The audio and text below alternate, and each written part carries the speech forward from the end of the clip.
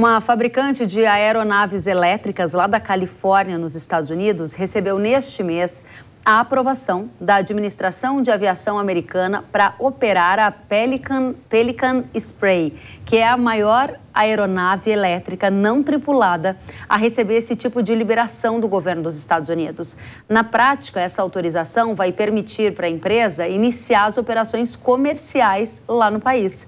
Segundo a própria companhia, o Pelican Spray é uma aeronave projetada para realizar operações complexas agrícolas de pulverização, que permite uma redução de até 15% no uso de produtos químicos. A aeronave é totalmente elétrica e ela também consegue realizar as operações à noite. A fabricante diz ainda que até 70 galões de produtos líquidos podem ser transportados em uma pulverização de cerca de 97 hectares por hora.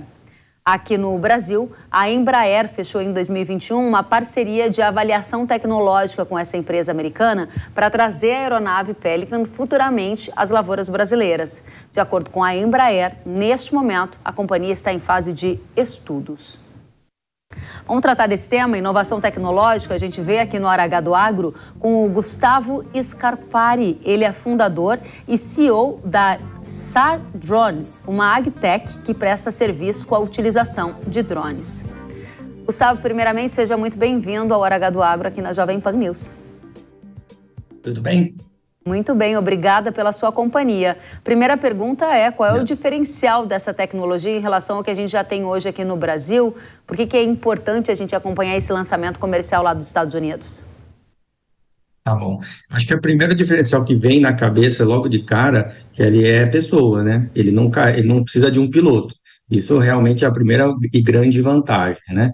É, a gente sabe tem acidentes, né? Não só no Brasil, acidentes fatais. Então acho que essa é a primeira grande vantagem. Eu vejo como ele é um equipamento de pequeno porte, né? Se a gente for comparar aí a aviação agrícola, né, que eu acho que é esse o mercado que ele vai se encaixar, se a gente for dividir a aviação agrícola em pequeno, médio e grande porte, ele vai, ele vai entrar mais ali no pequeno porte, tá? Para ter um número aqui para a audiência. Um avião de pequeno porte vai carregar em torno de 500 litros e, e eles estão falando em 318, então um pouquinho menos de um avião de pequeno porte, tá? Então acho que ele vai se encaixar ali. É, vejo alguma, algumas outras vantagens, né? É, você mesmo citou agora há pouco de voo noturno, isso é uma baita vantagem, tá? Tem que ver só se a ANAC vai liberar isso, né? Porque, por exemplo, na aviação agrícola não é permitido voo noturno, né? Então, assim, se for permitido com esse equipamento, é um, é um baita diferencial, porque é, para alguns produtos, por exemplo, produto biológico, que é o que a minha empresa trabalha mais, você voar de madrugada é melhor, está mais fresco, a temperatura melhor, então, se eles conseguirem a homologação da ANAC para voar à noite, vai ser também uma baita vantagem. Como ele é um equipamento de menor porte, eu acho que ele vai conseguir fazer manobras também melhores. Uhum. Ele é um equipamento elétrico, né, Kelly? Então, isso é vantajoso também, apesar de que muitos dos aviões agrícolas hoje são a etanol. E eu, eu por exemplo, trabalho muito com cana, é muito bonito de ver um avião agrícola a etanol sobrevoando um canavial. É bem legal, isso parece que os ciclos se fechando, né? Então, eu sou, eu sou engenheiro agrônomo também, então, para a gente é, é, gostoso ver esse tipo de tecnologia, né? Interessante. Então, assim, que eu vejo de vantagens, que ele tá, permeia mais em cima disso aí, tá? Ele está mais entrando, no, competindo com, a, com o mercado de aviação agrícola e não necessariamente com os drones, tá? Interessante. Então, ele compete mais com a aviação agrícola, mas sem a necessidade de um piloto, porque ele é não tripulado. A capacidade de pulverização, você disse que se equivaleria a uma, a uma pequena máquina de aviação agrícola, correto?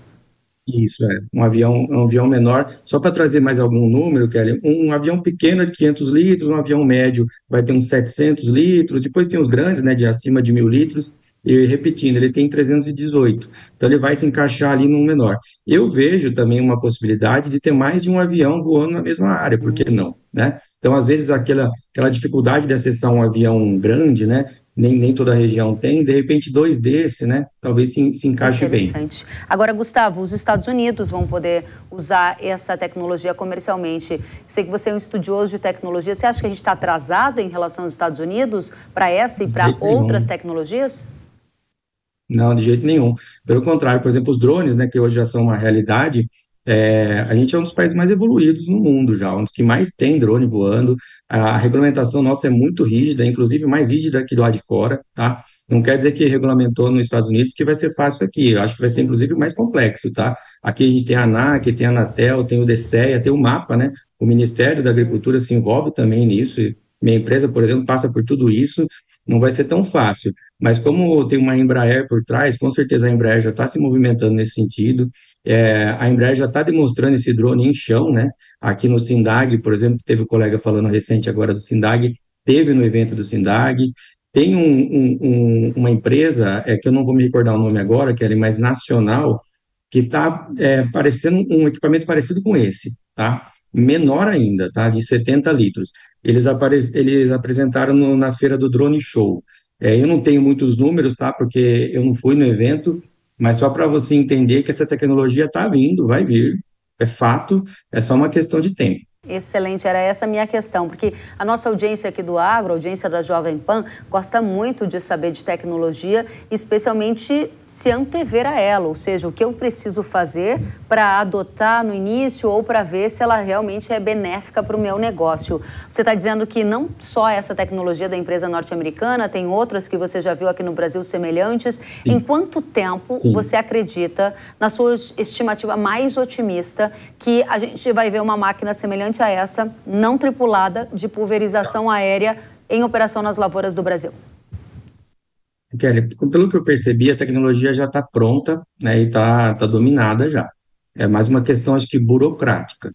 Se a gente não sabe né, o quanto a Embraer já, já evoluiu nisso, né, quantos passos ela já deu nesse sentido para evoluir, é, talvez esteja mais próximo ou mais, mais distante. Mas só para não sair sem um número, eu acho que é questão de um a dois anos, tá? Eu não vejo isso acontecendo antes disso, mas como já começa a aparecer movimento em evento, começa a aparecer porque a tecnologia está chegando, eu acho que a escola que a gente teve agora da chegada dos drones também, já a própria ANAC evoluiu muito também, o mapa, já, é, tem pessoas já bem preparadas para quando esse tipo de coisa chegar, já sabem que passo que tem que seguir, tá? Então, eu estou otimista que isso vai acontecer rápido. Agora, isso é uma nova tecnologia que vai substituir os drones, porque tem mais capacidade, não precisa também de piloto, e pode talvez ser o fim da era anterior para uma nova era? Não, de jeito nenhum. Eu acho que eles não competem, são setores diferentes, tá? Eu, vou, eu, vou, eu fiz um, uma tabelinha aqui rápida para uma colinha, vou te falar vantagens em relação ao drone também, tá? É, ele tem mais capacidade que o drone, isso é fato. Né? O drone hoje, cara, para você ter uma ideia, o, maior drone que opera no Brasil hoje leva 40 litros de produto. Esse teria é, mais de 300. Com, isso, exatamente. Então, com muito esforço, vai chegar nos 50. Então, ele não vai fugir muito disso, tá? Então, a gente está falando de 300. Então, isso já é uma, uma, realmente uma grande vantagem. Tem com isso tudo mais rendimento por dia. Mas ele tem muitas desvantagens em relação ao drone, tá? Por exemplo, o drone não precisa de uma pista de decolagem. Eles precisam de uma pista para decolar. O drone decola de onde ele estiver. Isso é uma baita vantagem, porque muitas das vezes você tem que deslocar até outra fazenda, e aí esse drone, por exemplo, é elétrico, ele vai consumir muita bateria para chegar até lá, o drone não, né?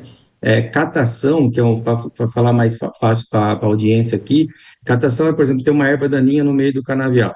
Então, ele faz uma agricultura de precisão de chegar exatamente em cima daquela erva daninha, o drone, né? Soltar o produto, coisa que um avião desse não, não vai conseguir fazer. Uhum. O transporte também, eu coloco o drone hoje num carro pequeno, eu dobro ele, dificilmente vai conseguir colocar um, um avião desse num, num, carro pequeno. Então, tem os, as, os, prós e contras ali. Custo de aquisição, né? Um drone hoje grande vai tirar em torno de uns 250 mil. É claro, eu não sei o quanto vai custar esse equipamento, mas com certeza é mais que isso. É, então, assim, são segmentos diferentes. O drone tem que ser encarado, Kelly, de que ele vai aonde o avião não vai, onde o trator não vai, onde o ser humano não vai o drone vai lá. Então, ele vai com precisão, ele vai, por exemplo, em lugares que tem restrições, por exemplo, a, a florestas, né, ou a cidades, ou a linhão de energia, o drone vai nesses locais. Então, de maneira nenhuma, essa tecnologia chega e vai impactar negativamente no mundo dos drones. Muito bem. Não impacta o mundo dos drones, mas impacta a carreira de piloto de aviação agrícola? Olha, é, tem, eu, eu, vi o colega agora falando aí também sobre uma pressão que tem de partidos de esquerda aí tentando limitar o uso de aviação agrícola, né? Que eu acho um absurdo. É, o que eu acredito que vai acontecer, que ele, como toda tecnologia, vai chegar, vai ter aquela empresa de aviação agrícola que vai investir, inclusive, nesse equipamento. Ela vai ter no portfólio dela, tá? É, então, o, o, é, é porque ele é pilotado também, tá, Kelly? Ele só não é, ele só não embarca, tá? Ele precisa de um piloto. Ele tem ali, ele, aquele pessoa vai, vai estudar e vai passar a dominar essa tecnologia, mas ele só não está embarcado, tá? Talvez aquele piloto ali que tiver interesse por essa tecnologia e estudar, ele vai continuar pilotando, ele vai continuar numa central ali, mas ele só não vai estar embarcado, só não vai estar correndo risco de vida. Interessantíssima essa observação que você está fazendo. Ele não é tripulado, mas ele vai precisar da inteligência humana para ser comandado Exato. por um controle remoto, digamos assim, para fazer esse trabalho. Ele pode trabalhar quantas horas será sem parar? Essa informação já estava disponível? Então, não está, mas eu estimo, tá? É, ele vai voar ali coisa de uns menos de uma hora, tá? Menos de uma hora.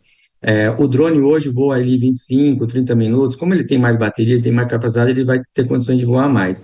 Mas a gente tem uma restrição também, que é de, de janela de, de, de, aplicação, né? Então, você também não adianta você ter muita energia, muito, e de repente você tem uma janela curta, por causa de vento, por causa de umidade. É, essa questão do noturno chamou muita atenção quando eu entrei no site deles para ver, é, porque abre-se uma janela maior, né? Você tem mais tempo ali para liberar e aumenta até o rendimento do dia, né?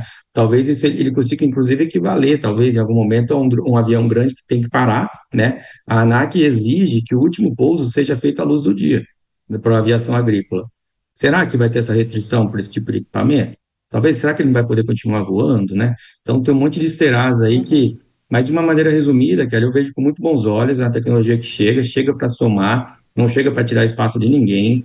É, a gente torce para a tecnologia do Brasil também consiga, né, que essa empresa consiga evoluir. A minha empresa mesmo, a gente trabalha com controle biológico e dispersão de sementes em florestas, com drone. E a gente que desenvolveu. A gente fez tudo aqui no Brasil, com apoios, né? Mas a gente que fez tudo aqui. Então, a gente tem bastante orgulho de ser uma empresa brasileira e que está conseguindo dar os passos aí também no agro. Parabéns, a gente fica muito orgulhoso e isso também trata-se de uma agricultura de precisão, né? E direto no ponto onde a necessidade está para diminuir exageros ou desperdícios em linha com o que você falou, que faz parte dessa agricultura moderna, sustentável, agricultura do futuro. Gustavo, agradeço demais pela sua presença. Gustavo Scarpari, que, é fundador e CEO da SAR Drones, uma agtech que presta serviços com a utilização de drones. Volte sempre para nos trazer mais novidades sobre as tecnologias agrícolas. Com o maior prazer. Obrigado aí pela oportunidade. Um grande abraço. A você também. Tchau, tchau.